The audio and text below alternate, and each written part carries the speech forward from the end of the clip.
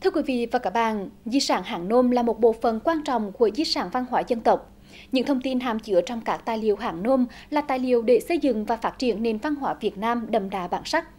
Do nhiều nguyên nhân khác nhau như khí hậu, cách bảo quản chưa đúng kỹ thuật hay bị cháy nổ, nên nhiều văn bản hàng Nôm quý đang đứng trước nguy cơ hỏng hóc.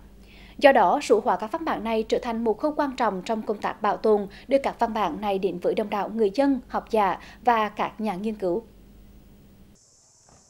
Là một trong những đình làng cổ có lịch sử trên dưới 500 năm của Thừa Thiên Huế, Mỹ Lợi là nơi còn lưu giữ được rất nhiều các văn bản hàng Nôm cổ có giá trị từ thời Lê với nhiều loại hình phong phú như sắc phong, chế phong, hương ước, gia phả, văn tế.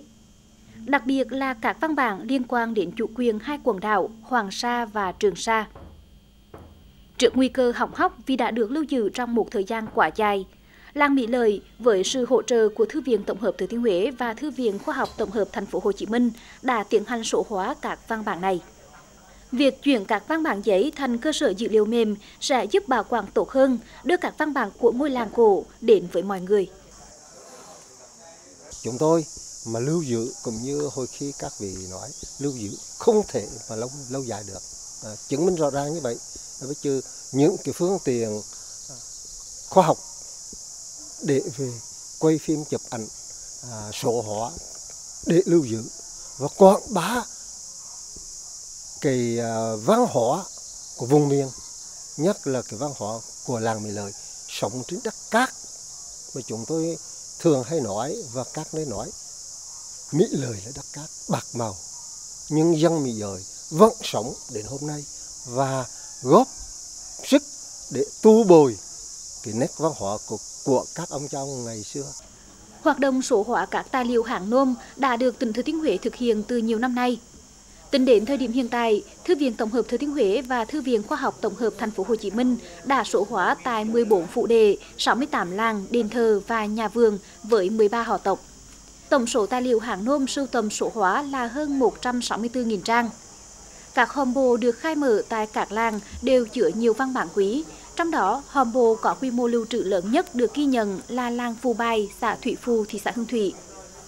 Bên cạnh việc số hóa, các đơn vị thực hiện cũng hướng dẫn giúp đỡ các họ tộc cách bảo quản để có thể lưu giữ lâu nhất những tài liệu trên chất liệu giấy. Trong chương trình à, sưu tầm số hóa thì chúng tôi có hai cái chương trình đó là chương trình à, tu bổ và phục chế tài liệu và cái thứ hai là hướng dẫn à, bảo bảo quản công tác bảo quản cho bà con trong 9 năm thì thư viện cũng đã, hai thư viện đã phối hợp tổ chức một số cái buổi tập huấn cho bà con cái cách bảo quản tài liệu như thế nào cho nó lâu hư. Rồi à, phục chế tức là trong quá trình mình đi mình thấy tài liệu của gia đình nào quý mà bị hỏng thì là đoàn cũng có người chuyên về phục chế người ta phục chế lại người ta tu bổ lại cho bà con chúng tôi cũng mong muốn là được sự quan tâm của các cấp chính quyền cũng như là các cái ờ,